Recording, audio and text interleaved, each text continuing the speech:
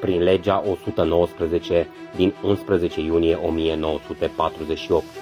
8894 de întreprinderi industriale și miniere, de transport, bancare și de asigurări au fost trecute din proprietatea privată în proprietatea statului.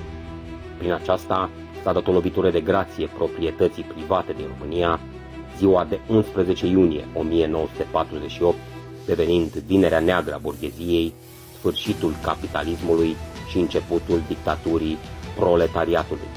Au fost exceptate de la naționalizare doar firmele care aveau până la 10 lucrători, urmând ca și acestea, prin anumite măsuri și prevederi legislative, să fie îngrădite în desfășurarea activității și să se ajungă într-un final la închiderea lor. În plus, comuniștii nu s-au mulțumit doar cu confiscarea averilor și naționalizarea acestora, ci pe baza unor acuzații inventate, li s-au înscenat procese și au fost aruncați în închisoare majoritatea proprietarilor fabricilor, uzinelor și companiilor private.